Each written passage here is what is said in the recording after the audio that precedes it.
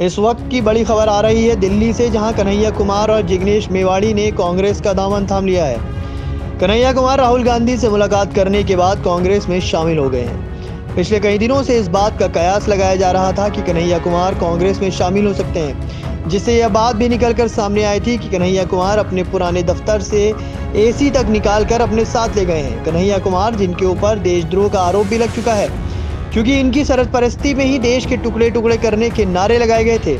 और यही कन्हैया कुमार अब कांग्रेस में शामिल हो गए हैं। कन्हैया कुमार को टुकड़े टुकड़े गैंग का लीडर माना जाता है। कन्हैया कुमार के कांग्रेस में शामिल होने पर अंदरूनी कला भी सामने आई थी, जिसमें कांग्रेस के वरिष्ठ नेता मनीष तिवारी ने सोशल मीडिया पर एक पोस्ट में कहा था कि कुछ कम्युनिस्ट नेताओं के कांग्रेस ज्वाइन करने की खबरें हैं। ऐसे में शायद 1973 में लिखी गई किताब कम्युनिस्ट इन कांग्रेस को फिर से पढ़ा जाना चाहिए।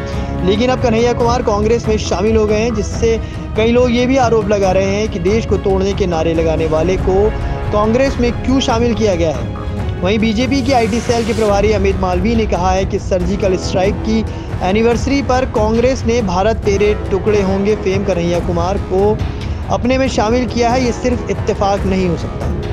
भारत तोड़ो फोर्स से हाथ मिलाना अब कांग्रेस का मकसद बन गया है। वहीं जिग्नेश मेवाड़ी की अगर बात करें तो जिग्नेश मेवाड़ी गुजरात में कई आंदोलनों में लोगों को इकट्ठा कर दलित राजनीति के युवा चेहरे के तौर पर उभर कर सामने आए हैं। वे गुजरात के वडगाम से निर्दलीय विधायक हैं। माना जाता है कि 2017 में विधानसभा चुनाव में जिग्नेश की जीत में कांग्रेस की बहुत बड़ी भूमिका थी, क्योंकि कांग्रेस ने उनके खिलाफ अपना उम्मीदवार नहीं उतारा था।